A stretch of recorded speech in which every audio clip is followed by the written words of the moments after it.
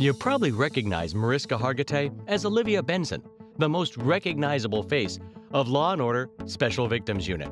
She's practically television royalty at this point. Behind the scenes, she also leads an amazing and interesting life. Keep watching to find out 10 things you didn't know about Mariska Hargitay. Starting off at number 10, she has the cutest way she met her husband.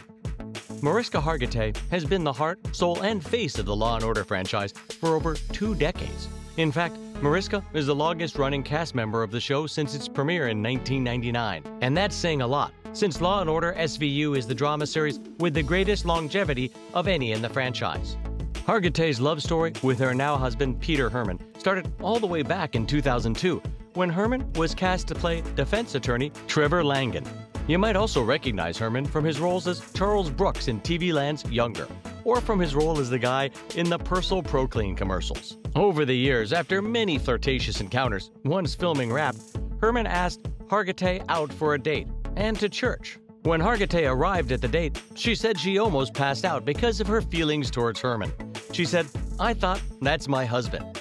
And during the church service, she was so moved and overwhelmed by her emotions that she sobbed right there and then. The couple got married in 2004 in a beautiful ceremony. Hargitay wore a pale pink Carolina Herrera gown with Hermann's initials and their wedding date embroidered into the lining. In 2006, they had their first son, August, and then adopted their next two children, Amaya and Andrew.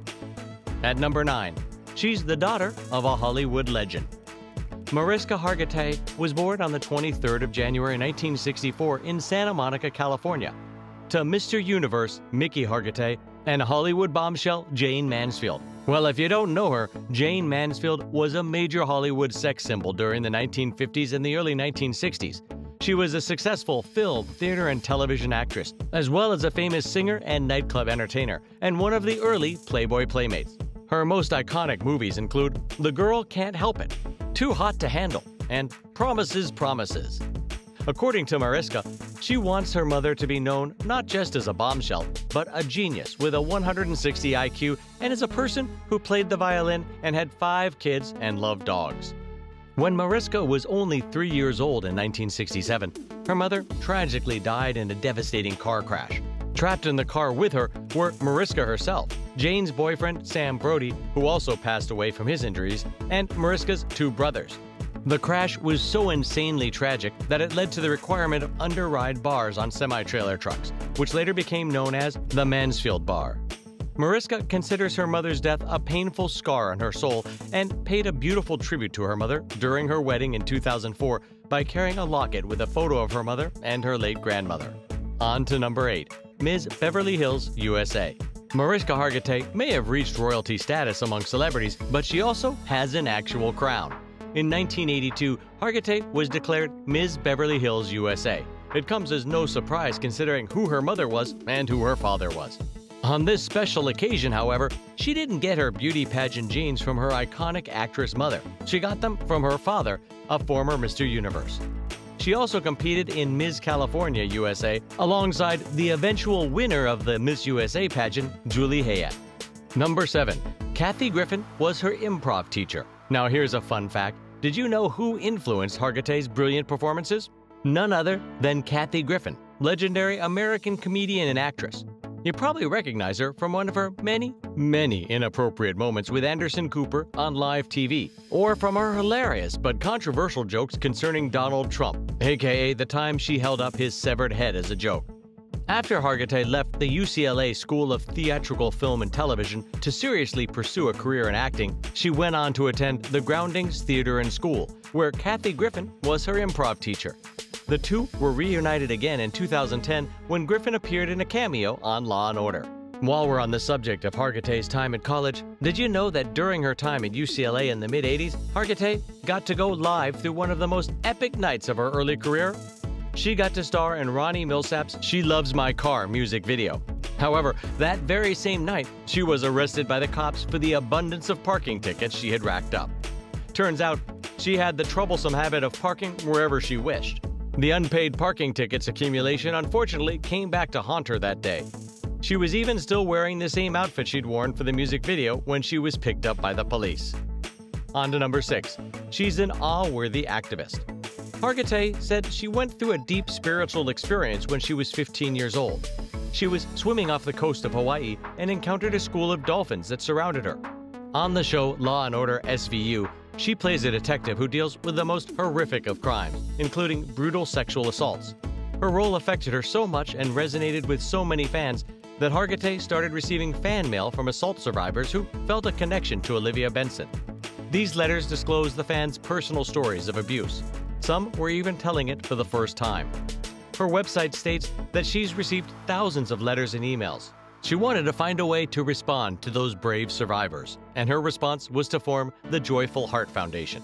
The Foundation's mission is to transform society's response to sexual assault, domestic violence, and child abuse, support survivors' healing, and end this violence forever.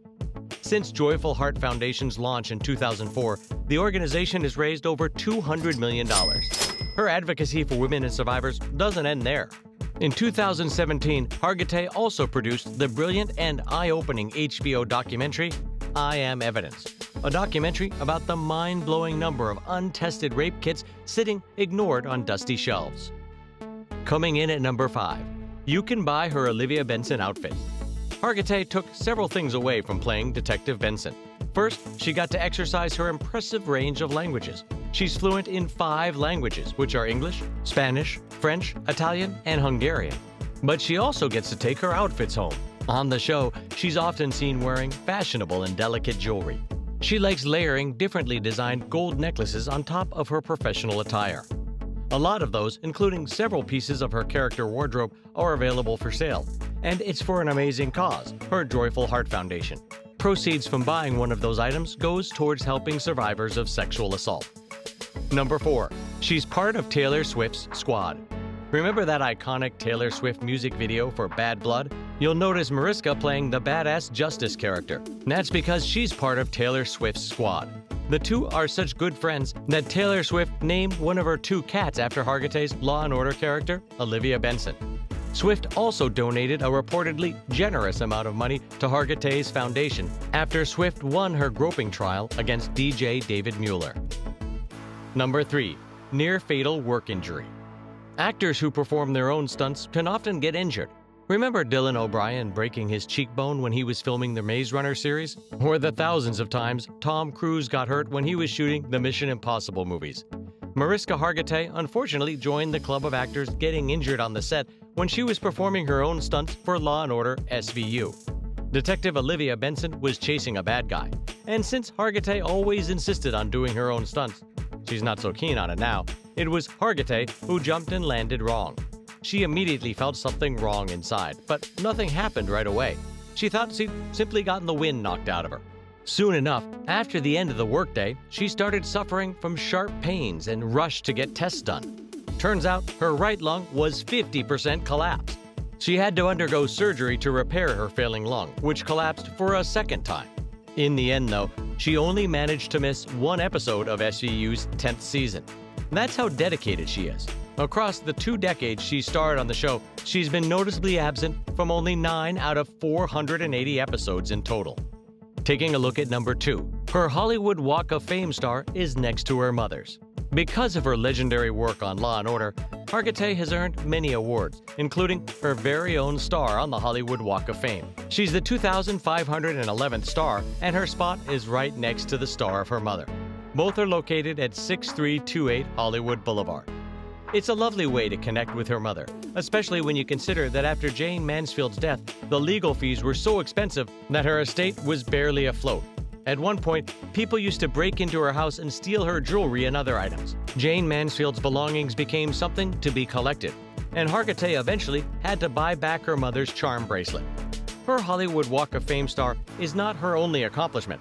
Hargitay has also won both an Emmy and a Golden Globe for her role as Detective Olivia Benson.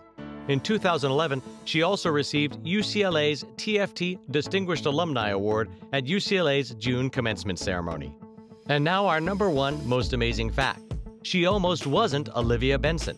We don't want to live in a world where Mariska Hargitay hasn't been playing Detective Olivia Benson, but we were dangerously close to that grim reality. When Hargitay auditioned for the role, she knew she was meant to play Olivia, and that feeling was further cemented after reading the script. However, when she got the callback, she found out that she wasn't the only serious candidate for the role. In true icon fashion, Hargitay took matters in her own hands and met with the series creator, Dick Wolf. She told him, Listen, you're confused. Here's the deal. I'm pretty sure this is me. This is my part. I'm serious. We're past this. Let's not even waste your time. And they didn't waste any time. Hargitay was cast, and the rest is history. Her role as Detective Benson has not only allowed her to achieve her dreams of becoming an actress, but it's also bringing in a pretty penny. Throughout a typical 22 episode season, Hargitay earns a whopping $500,000 per episode. That means she's bringing in $11 million per year in base salary earning alone. That's not taking into account other bonuses, which accumulate until it's estimated that she's earning 13 to 15 million dollars a year from her day job. Well, that's it for today's list. If possible, these facts have made us love Mariska Hargitay even more. What do you think about these amazing facts? Let us know your thoughts in the comments below. And make sure to give this video a thumbs up and don't forget to subscribe and turn on notifications to be notified the next time we bring you another Celeb Glam Life video. Until then, goodbye.